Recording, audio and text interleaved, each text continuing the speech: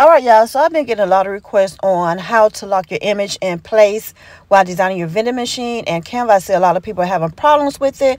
So this is how you do it. You will have four pages.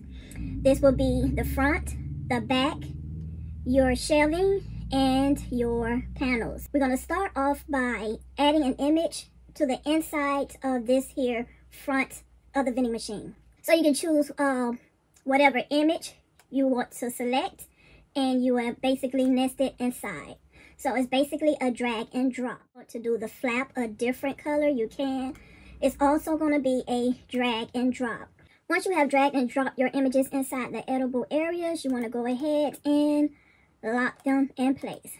That way, when you get ready to drop and drag another image, it will not go inside those editable areas. And so let me show you what happens if you do not lock your uh, final image before placing another picture.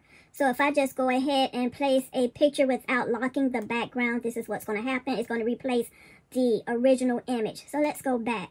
So to keep that from happening, you want to make sure that you lock that image. So when you do put another image, it does not um, change. Okay, so that's how you would lock your background. All right, so now let's discuss how you would print your vending machine templates once you have them designed.